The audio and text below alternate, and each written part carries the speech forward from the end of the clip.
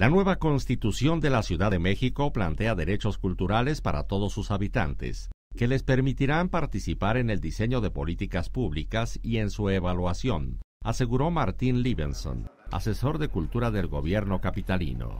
Esto lo que hace es darle fuerza a una política que ya hace muchos años se viene desarrollando. En plática con Notimex dijo que el constituyente lo que hizo fue ratificar lo que plantea el artículo cuarto de la Constitución mexicana, donde se habla de derechos culturales, pero no se especifican.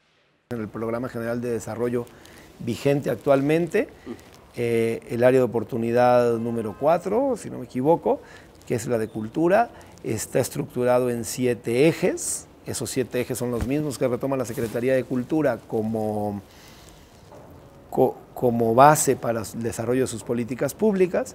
Y estos siete ejes ya son siete derechos culturales básicos. Entonces, la ciudad como tal ya eh, basa su política cultural en el concepto de derechos culturales desde antes de la Constitución. Lo que hacemos ahora es darle muchísima más fuerza al plasmarlos en la Constitución y desagregarlos más. Destacó que la nueva Constitución de la Ciudad de México estableció un catálogo mínimo de derechos culturales que fortalecen la política del ramo en la capital del país.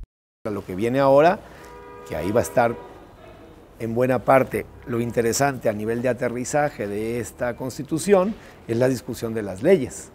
Pues ahora hay que armonizar todo el marco jurídico normativo a la constitución. Entonces, bueno, pues la Asamblea Legislativa va a tener un trabajo. ¿No es trabajo fácil?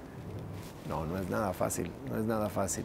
El también gestor público aseveró que darle a la cultura un papel fuerte en la Constitución permitirá trabajar en carencias que aún subsisten a nivel organizacional y presupuestario.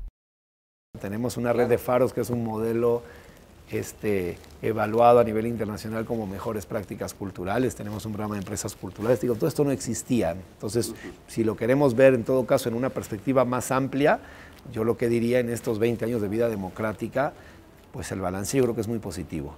Sobre lo que sigue en materia cultural en la Ciudad de México, dijo que hay muchos proyectos tendientes a fortalecer el desarrollo humano integral de sus habitantes.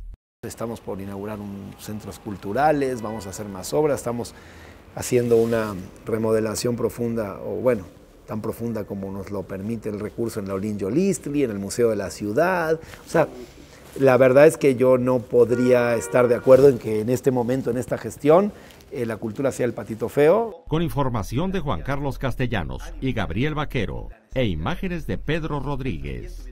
Notimex.